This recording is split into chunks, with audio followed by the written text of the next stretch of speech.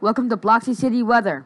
Today we are going to track what's what's to become Tropical Storm Madison, and we're also going to track this other disturbance in the uh, ocean um, as well. So let's get into it. So the disturbance right here, this disturbance, has a 40% chance of developing and is moving this way. And this disturbance is now a tropical depression, and tonight it will become a tropical storm. So this is going to become Tropical Storm Madison. And let's track Tropical Storm Madison. Now, by the way, we've got this new ridge that just formed off here, so that's why these are these systems are going down here. Because normally they would go up north like this. So, yeah, let's track it. Let's let's uh, track this storm right here, and yeah. So here is Madison, or what's what's to become Madison. So this is Madison right now, just a depression, and and also this is a very slow moving system. It's not fast, it's just slow moving system. So this is it right now, and then tomorrow it'll be a storm. Uh, duh, because tonight it's gonna uh, move here and turn into a storm, and then it's gonna move more down here. But however, before it hits Bloxy, it will turn into a depression. And on top of that, before it hits us, we will actually have kind of a band from what's to become Madison before it hits us.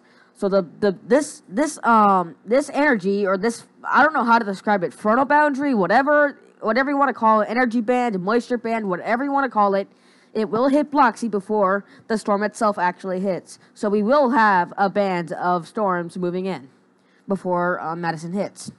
So yeah, we got to watch out for that. So here's a seven-day weather forecast. Sorry about that. I had to fix Madison right there. But anyway, here's a seven-day weather forecast. So on Friday we have a chance of an isolated shower storm. Saturday we got a better chance for showers. Sunday, this that's when the that's when the band moves in.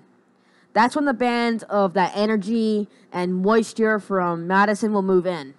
And that on top of that will bring a lot of humidity. So um, say goodbye to your low 60s because um, it there's going to be heat indexes back. So yes, it's so instead of 82 degrees, it's to feel like 90 degrees.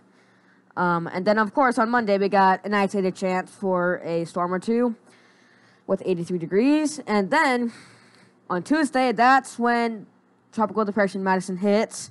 And we will have thunderstorms and showers going on with overcast afternoons because um, there Madison is Madison has a lot of clouds and rain and a lot of it. So that's why we're going to see more clouds than usual with these tropical depressions because normally it would just be scattered showers and storms and that would be it. But no, Madison is actually kind of big and has a lot of clouds and moisture. So yeah, we're going to watch out for that. And also, of course, since it's humid, it's not going to feel like it's 80 degrees. It's going to feel more like 90 degrees or maybe even high 80s.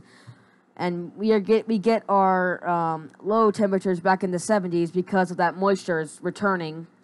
So yeah, we got to watch out for that. So Tomorrow, isolated shower storm, nothing big a deal. Saturday, 40% scattered showers. Sunday is when the tropical band moves in. And then on Monday, we get some 20% isolated shower storm again. On Tuesday, 60% scattered from Madison. Same, same thing on Wednesday, but 40% scattered. And Thursday, we got 30% isolated for it. All right. So here's your weather forecast.